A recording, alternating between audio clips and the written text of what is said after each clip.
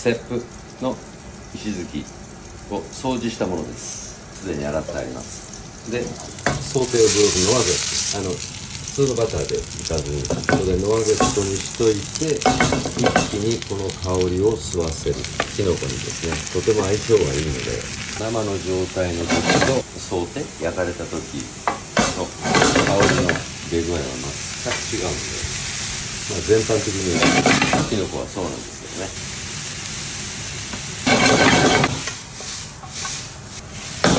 もいい感じですすごいです香りが。でここで周りについたものをデグラスサイズ。水でもいいですか？水でも全然食べない。これ一応ダンブラでデグラスして。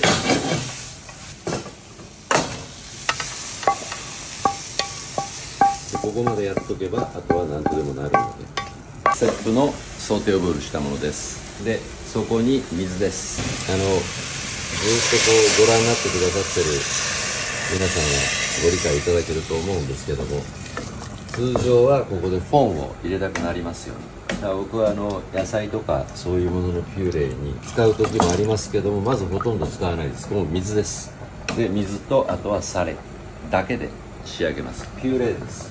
で今はまあフランとかそういうちょっとあったかいもの表現できればいいかなということを頭で想像しながらやってます。ですからそこにこう余分な本の味とかそういうものは僕はなるべくスープ類は、うん、どうだろう。この前も表現させていただいたマイスのスープとか全部水だけなんで。でこれであとは汗染めしてピューレにするだけです。でガルニチュールとかソース。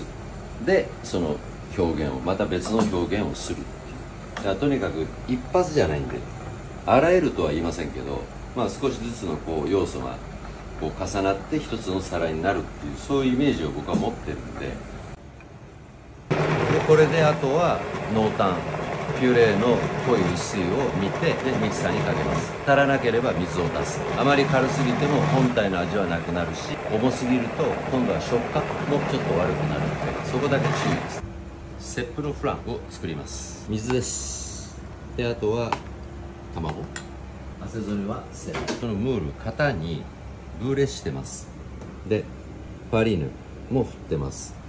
でその時にこの最初のバタースマッシュバターなんですけど僕はあのブールのワゼットを作ったそのバターを塗っています。あの多少でも香りが欲しいので最初にお見せしましたよね。あのブールのワゼットでシャンピニオンをソーテするっていう。と同じことを僕はやってます。まあ大した手間じゃないんで。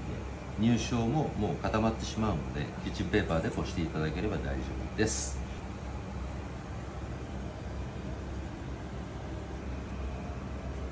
ってな感じであとはあの低温で、まあ、15060度ぐらい180度ぐらいちゃうとちょちょっと心配なんでそれぐらいでやります。久しぶりにやりましたフラ焼き上がりました。いいですね。綺麗な色で。あとはどうしようかな。